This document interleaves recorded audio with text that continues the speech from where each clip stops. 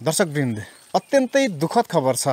एकजना श्रीमानले आफ्नै श्रीमतीलाई खुकुरीले मासु काटे झैँ धुजा धुजा पारेर विभत्स तरिकाले हत्या गरेका छन्।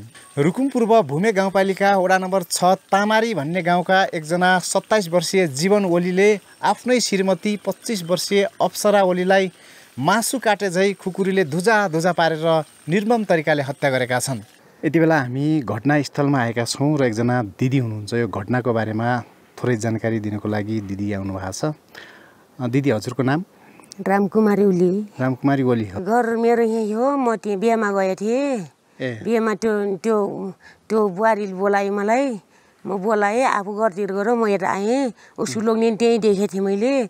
त्यो गएर कोठिएर माऱ्यो त्यो ढाई बजीतिर मारेको रे। हजुरको के नातेदार पर्नुहुन्छ होइन उहाँ? त्यो पर्छ नातिजार भने? त्यो हत्यारा- पर्छ के? नाथा बोटी तपाईँको भतिजा। अँ हतियारवाला नि भतिजा ऊ बुहारी पोरीको हो। भतिजा जस्तो। तपाईँले बुझ अलिअलि बुझ्नुभयो होला उसको बानी व्यवहार पहिलेदेखि के थियो? रक्सी खाने जोडी अँ एकदम जोडिएटो केटा। केटा जोडिए जे पान्छ जो पान्छ गु बाँकी गु मुट बाँकी सब खाने त्यो केटाले। अनि श्रीमती चाहिँ एकदमै सोझी हुनुहुन्थ्यो। श्रीमती एकदम सुजी त्यो हल्का कति कतै के गरेर रक्सी पाऱ्यो भने अर्को घरको बुढीलाई आनुस् आमा बजै आनुस् चाख्न भनेर त्यो चाख्नु बोलाउने कि अर्को मान्छेले रामेश छापका हुन् गरी।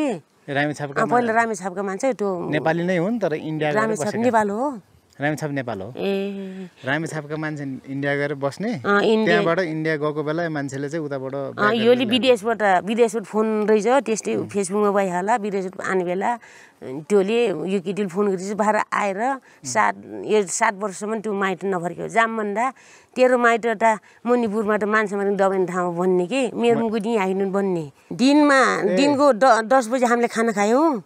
त्यहाँ बिहामा खाना खायौँ। अन्त त्यो त्यो मार माग्ने केटी पनि आएको थियो त्यो पनि टिको लगाइदियो बेहुला बेहुलीलाई टिको लगाएर बेहुला बेहुली उता ससुरालीतिर गइसक्यो हामी आइसक्यौँ कि।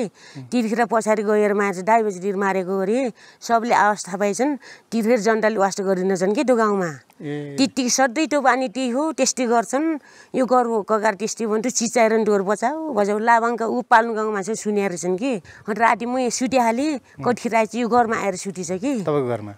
त्यो बच्चा आमा स्वास्नी मारी छ बच्चा डोराएर के पाँच वर्षको बच्चा घरमा आएर? रित्यो यो घर के? दुइटै घर मेरो हान बाबु हो। म टोखरामा सुतेको थिएँ म एक्लै छु कि आफू एक्लै। यति बेला हामीसँग छ नम्बर वडाको वडा अध्यक्ष हुनुहुन्छ र अध्यक्षजी हजुरलाई चाहिँ यो घटनाको बारेमा के के जानकारी छ? यो घटनाको सन्दर्भमा दुई हजार एक्कासी साल असार अट्ठाइस गते करिब चाहिँ साढे चार बजीतिरको चाहिँ घटना रहेछ। त्यो दिन चाहिँ गाउँमा तामारी बस्तीमा चाहिँ बिहा रहेछ। बिहेको सिलसिलादेखि चाहिँ बिहादेखि चाहिँ घर फर्किने क्रममा तिनवटा उहाँको चाहिँ छोरा श्रीमती श्रीमानसँगै चाहिँ घर फर्किसकेपछि सामान्य जय जगदाले नै रहेछ। मैले बुझ्दाखेरि सामान्य त्यस्तो ठुलो विवाद पनि चाहिँ छैन। सामान्य जगदाले नै गर्दाखेरि आफ्नो श्रीमतीको चाहिँ हत्या चाहिँ भएको चाहिँ छ। र चाहिँ हिजो साढे दुई बजेतिर चाहिँ उहाँ चाहिँ नियन्त्रणमा आएर पनि जिल्ला चलान चाहिँ भइसकेको छ। बुझ्दाखेरि चाहिँ यो घटना हुनुको मुख्य कारण चाहिँ ऊ जोडिया हुनु नै हो। एकदम। अरू कुनै इस्यु थियो इस्यु चाहिँ थिएन। एकदम। उसको श्रीमतीलाई चाहिँ माया नगर्ने श्रीमतीको चाहिँ समस्याहरू नबुझ्ने रक्सी आएर चाहिँ उसलाई चाहिँ यातना दिने त्यस्तो खालको चाहिँ पहिलेदेखि पनि भएर आउँथ्यो। यहाँ चौकीमा पनि चाहिँ उहाँलाई चाहिँ पहिले पनि मिलाएर पनि पठाएका थियौँ। फेरि चाहिँ त्यो पछि फेरि त्यो आफ्नै श्रीमतीको हत्या भएर चाहिँ अहिले चाहिँ यो अवस्थामा चाहिँ आएको चाहिँ छ। अध्यक्षज्यू पछिल्लो समय हाम्रो देश नेपालमा यस्ता खालका काण्डहरू यस्ता खालका घटनाहरू घटिरहेको देख्न सकिन्छ। श्रीमानले श्रीमतीलाई मारेको श्रीमतीले श्रीमानलाई मारेको यस्ता खालका घटनाहरू घटिरहेछन्। यो के कारणले चाहिँ यस्तो भइराखेको चाहिँ अवस्था देख्न सकिन्छ? अन्य देशको तुलनामा हाम्रो देशमा चाहिँ यस्तो खालको केसहरू बढी बाहिर स- आएको चाहिँ देखिराखेका छौँ हामीले। यो अवस्था हेर्दाखेरि चाहिँ हाम्रो देश नेपाल र हामी नेपालीहरू कतातिर गइराखेका छौँ? यो एक्काइसौँ बाइसौँ शताब्दीमा पनि यस्तो खालको चाहिँ घटनाहरू घटिरहेछन् जो कि श्रीमानले श्रीमतीलाई हत्या गरेको घटनाहरू आइराखेका छन्। यसमा चाहिँ अशिक्षा चेतनाको कमी या त असमझदारी अथवा अन्य कुनै के कारणले गर्दा चाहिँ यस्तो खालको घटनाहरू घटिराखेका छन् तपाईँको विचारमा? मेरो बुझाइमा चाहिँ लोग्नेले स्वास्नीलाई सम्मान गर्न नसक्नु। स्वास्नीले चाहिँ लोग्नेलाई चाहिँ सम्मान गर्न नसक्नु। एक चाहिँ त्यो हो- रह्यो। एक चाहिँ श्रीमान पनि चाहिँ सरायबहार चाहिँ रक्सी खाने र चाहिँ श्रीमती चाहिँ सरसल्लाह चाहिँ नमान्ने त्यो पनि भयो। एक चाहिँ प श्रीमतीहरू चाहिँ परपुरुषहरूसँग चाहिँ शारीरिक सम्बन्धहरू चाहिँ राख्ने। त्यो भयो त्यो कारणले गर्दा यो चाहिँ समाजमा चाहिँ यो घटनाहरू चाहिँ आइरहेको चाहिँ छ। कसरी न्यूनीकरण गर्न सकिन्छ अथवा यसमा के छ चेतनाको कमी भयो या त कसरी गर्न सकिन्छ? यसलाई तोल तोलमा बस्ती बस्तीमा चेतनाको चाहिँ चेतनामूलक कार्यक्रमहरू चाहिँ सन्देशमूलक कार्यक्रम चाहिँ लैजान सकिन्छ। र चाहिँ कानुनको दायरामा चाहिँ अलिक कानुनी रूपमा चाहिँ अलि दस वर्षलाई अलि चाहिँ बिस वर्षसम्म चाहिँ बढाइयो भने उसले पनि त अब कानुनी रूपमा त्यो दस वर्ष त खासै केही पनि नमान्ने जस्तो भयो कि अपराधीहरूले। दस वर्ष त म अहिले सकाइहाल्छु अहिले नै आइहाल्छु भन्ने जस्तो भयो। यसलाई चाहिँ बढाएर कि त चाहिँ मृत्युदण्ड या चाहिँ दस वर्षलाई बढाएर बिस वर्ष बनाइयो भने हत्या जताततै हत्या चाहिँ हुँदैन कि अलि चाहिँ रोकथाम गर्न सकिन्छ कि भन्ने नै मुख्य उद्देश्य हो। कानुनी सजाय अलिक कडा हुनु पर्यो हो। र एउटा जनचेतनामूलक कार्यक्रम चाहिँ हुन पर्यो। यो बुढाबुढी यो श्रीमान श्रीमती बिचको असमझदारी जो छ यसलाई स- सहजीकरण गर्नको लागि अ, चाहिँ यो चाहिँ चेतनामूलक जनचेतनामूलक कार्यक्रम चाहिँ राख्न पर्ने तपाईँको चाहिँ प्रस्ताव आयो होइन त?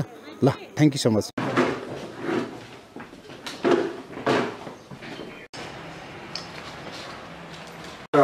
आशा भगवान् महतबाट टोली खटाएँ।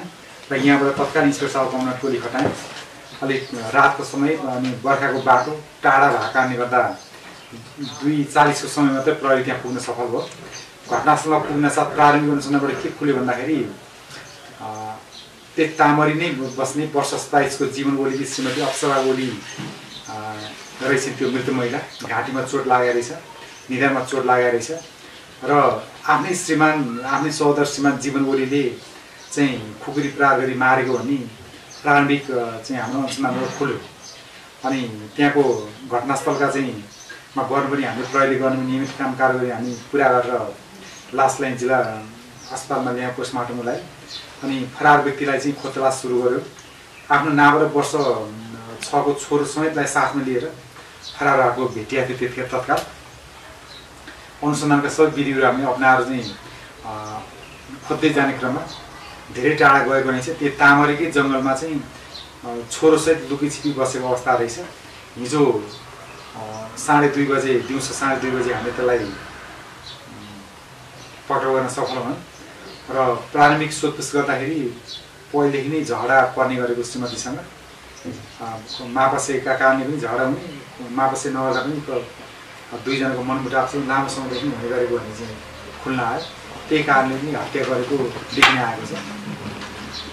एक कुरा तपाईँलाई मैले लेखेर पनि राखिदिएको छु दुईवटा घटनास्थलका फोटोहरू मेल गरेर पनि पठाइन्छ तपाईँलाई। यति कुरा तपाईँलाई सुनाउँ भन्दा आज मैले बोलाएको थिएँ तपाईँलाई।